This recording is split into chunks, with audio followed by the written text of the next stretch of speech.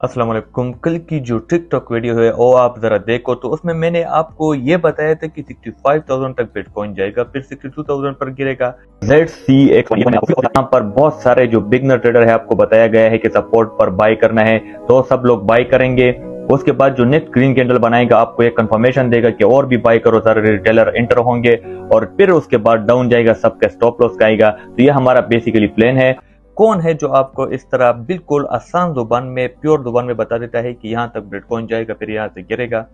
चलो, ये तो छोड़ो, ये तो कल की बात होगी आज की बात हम करें, आज मैं आपको बिटकॉइन की अपडेट भी देता हूँ। इसी के साथ एक यूज़र ने पूछा था कि आई एन जे कॉइन की एनालिसिस भी बताओ, वो भी मैं बता देता हूँ। बिटकॉइन यहाँ से जो करंट जोन है इसमें हमारे पास अभी रेंज बन रहा है। रेंज से मुराद ये है कि यहाँ पर अभी बिटकॉइन कंसोलिडेट करेगा। एक या दो दिन तक बिटकॉइन अप डाउन एक स्पेसिफिक एरिया में करेगा। स्पेसिफिक एरिया कहाँ तक बन रहा है? 62,100 से लेकर 65,000 इसके दरमियान बिटकॉइन घूमेगा आसपास। इसके दरमियान बिटकॉइन साइडवेज मार्केट में घूमेगा। उसके बाद जब बिटकॉइन ब्रेकआउट करना चाहेगा तो ब्रेकआउट हमारे पास बन रहा है 65,000 के भाव अगर डेली कैंडल क्लोज हो जाता है तो हमारे पास ब्रेकआउट हो जाता है। अगर 62,100 से बिटकॉइन की डेली की कैंडल यानी डेली की बात करो जो सुबह पाँच बजे बनती है वो कैंडल नीचे क्लोज हो गई। तब क्या होगा?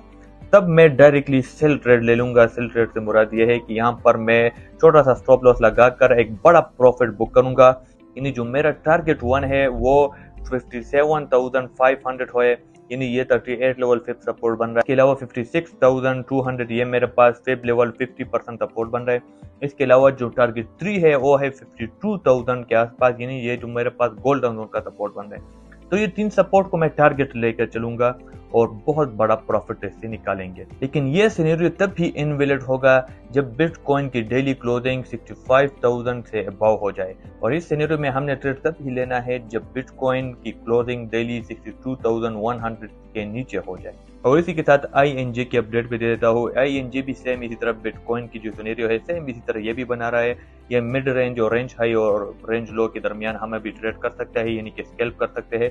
जब मिड रेंज से प्राइस रेंज हाई की तरफ़ जाएगी और फिर रेंज हाई से रिजेक्ट हो जाती है। तो मिड रेंज हमारे पास टारगेट वन है और रेंज लो हमारे पास टारगेट टू है। सेम इसी के ऊपर हम बाई ट्रेड भी ले सकते हैं।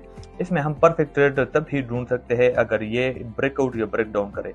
यानी कि 37 से बाव ब्रेकआउट करे तो ये हमारे पास 39 यानी 10 परसेंट पम्प दे सकता है। तो ये 10 परसेंट पर हम स्पॉट प्रॉफिट के लिए टारगेट ले सकते हैं या शॉर्ट टर्म के लिए स्केल फ्यूचर कर सकते हैं। इसके साथ अगर ब्रेक डाउन करता है 35 के नीचे यानी 34 के नीचे ब्रेक डाउन करता है तो 31 यानी 10 से लेकर 15 परसेंट डम गिरेगा, ये हमारे पास फिर टारगेट होगा। आप लोगों के लिए एक खुशबरी भी ये सुना दो। आप लोग इस तरह करो जो कल के लिए आपको एनालिसिस चाहिए, जो कल कॉइन आपको चाहिए, जिसमें आपको कल चाहते हो कि आप इसमें इन्वेस्ट करो या ना करो।